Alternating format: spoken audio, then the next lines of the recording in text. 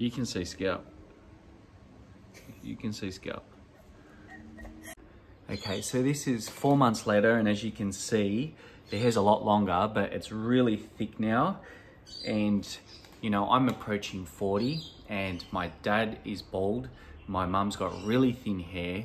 Both men and women on both sides of the family have got really thin hair, and it usually leaves the building around the mid 30s. I'm approaching 40, and you know, four months ago, I thought I was on the 18th hole. I thought it was all over and the hair was it was coming out, but I did a lot of research on how to thicken and grow the hair naturally, and I feel like I'm literally about to tee off. G'day team, Joel Bushby here, the founder and owner of the Natural Transformer natural supplement range and online training programs. Now today I'm gonna tell you what I've been through to thicken and grow my hair naturally. I am not here to sell you anything. I'm a body transformation specialist, nothing to do with hair growth.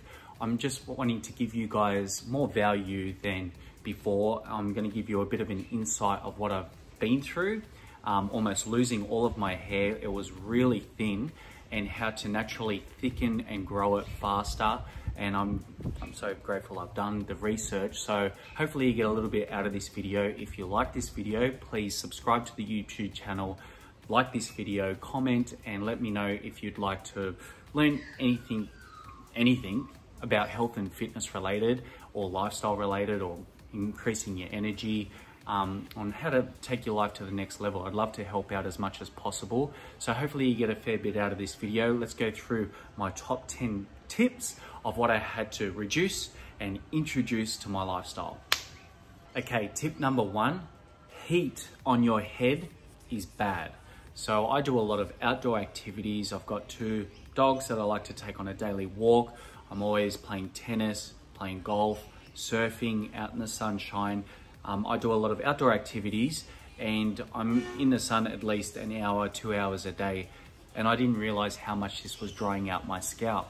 I also have extremely hot showers once a day and I was putting my head under for minutes on end and I didn't realize how much this was drying out my scalp. So started wearing a cap whenever I went outdoors and I stopped putting my head under the shower and when I did want to wash my face or my hair, I turned the um, temperature down to a room temperature or even a cold shower to wash my hair and wash my face.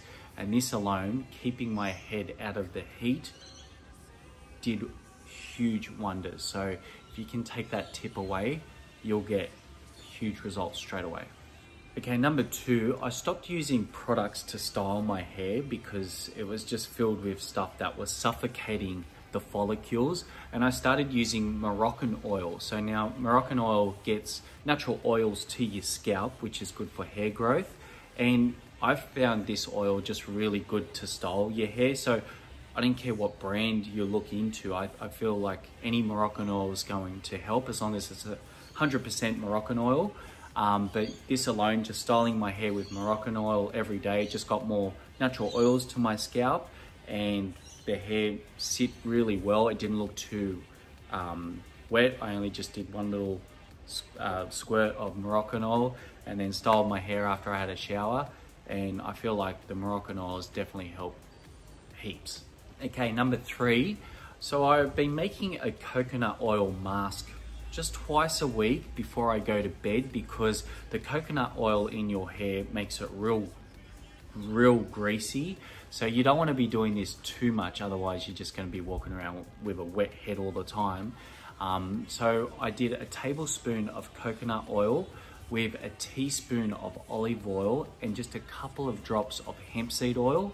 So this just twice a week, I do this on a Thursday and a Monday because they're my treat days. That's when I have the green light to eat whatever I want. So they're my two favorite days of the week and they're the nights I usually put the coconut oil mask in. So again, it's all about getting the natural oils to the hair and I feel this was a big game changer. Like I said, you don't want to do this at the start of the day because you're going to walk around with real oily hair. You don't want to be walking around with that look.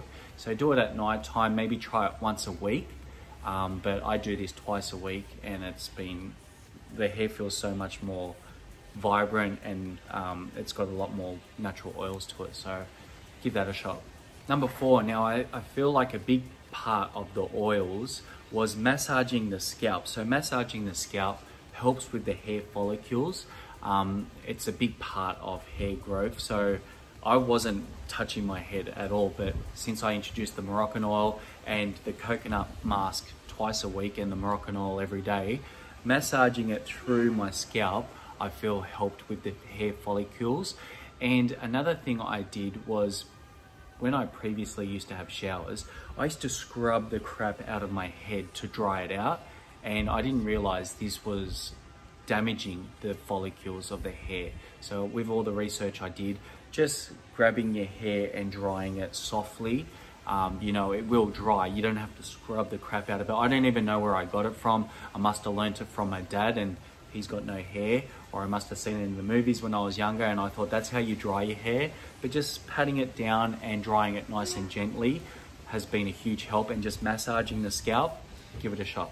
Okay, number five, um, shampoos with silica and biotin. Now these two ingredients are all about hair growth and you don't want to be shampooing your hair too much. Now I used to shampoo my hair once every two days and I didn't realize this was taking away the natural oils in my head. So I backed it off to once a week or even once a fortnight and I got myself a shampoo with biotin and silica in it. So if you can find yourself a shampoo with those ingredients in there, it's gonna be great for the hair growth and maybe just back off if you're a regular shampoo washing your hair um, maybe just back off to maybe once a week or even once a fortnight. I know it sounds a bit dirty, but your hair will thicken up dramatically if you do this. Okay, number six, an iodine supplement. Now, iodine is found in seaweed and it is pretty hard to come across in our daily nutrition. So our thyroids use iodine to balance out our hormones. And it is, like I said, it's really hard to find in nutrition. You can find it in seaweed, um, wrapped around your sushi rolls. But again, when it comes to smashing sushi rolls, just to build your iodine levels up, um, you got to be careful of the amount of calories and wasted carbohydrates in sushi. You don't want to overdo carbohydrates, otherwise it will turn to fat eventually. We'll touch on nutrition in another video, but get yourself a good iodine supplement to balance out those hormones and help the thyroid produce those hormones. Um, you shouldn't spend too much on an iodine supplement, maybe 10 Australian dollars, 20 maximum, um, just to build those iodine levels up.